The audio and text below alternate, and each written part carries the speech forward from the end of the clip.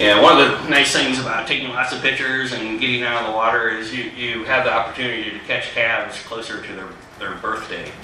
And uh, we've, in the last, you know, with, with each new calf, we kind of get a little closer, get a little bit better idea of actually, you know, how old exactly is that calf. Um, so this is, uh, yeah, uh, it was kind of neat to put together uh, a little, have to kind of composite whale, there's different ones. But this is J49. We, on August 12th, or 2012, or August 6, 2012, August 2012, um, he, uh, we had J37 go past the center, and then later that day we went out and, and we found J37 with a little calf. So within two, the two hours that it took us to find her between when she went past the house, she had a, a little calf. And it was a tiny little wrinkly, yeah, pencily thin sort of thing with a flopped over dorsal fin. And, and one of our questions was, you know, well, how, how long, how long does it take for a dorsal fin to straighten out? We, we didn't know. Well,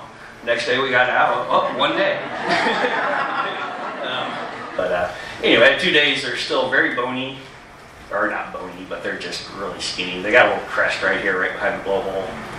Just kind of, I don't know, head shape. I, I always think it looks like a lizard head. But, uh, anyway, uh, it's, kind of going to be hard to see, but this is a, a very young, you know, when they're this young, you can still see the saddle really, really well. It's really bright, and you'll see fetal folds when they're very young. That's a fetal fold right there. There's another one right there. It's when they're this young. If this is the only picture I've, uh, this is Ken's photo. It's the only picture I've ever seen where the lighting's been good enough to see it.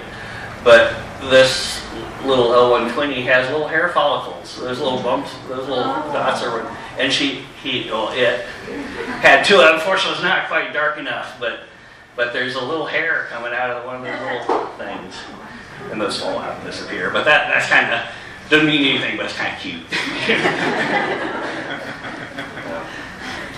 anyway, J, J, this is J52 at one and a half weeks, and they're they're still kind of skinny. You know, they still got a little crest there, and, and uh, you can probably, I think you can still see fetal folds at this point.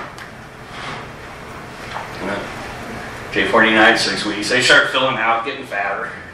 Yeah, in the past, when there's a lot fewer off-season um, encounters, when K and L pod would show up, often when the, if there was a new calf, they would they would show up. They'd be all peely. They'd have all this dead skin all over them. So with new calves, we started relying on on eye patches, and so the center has has a so both a southern resident and a, a transient uh, eye patch catalog for both sides of everybody.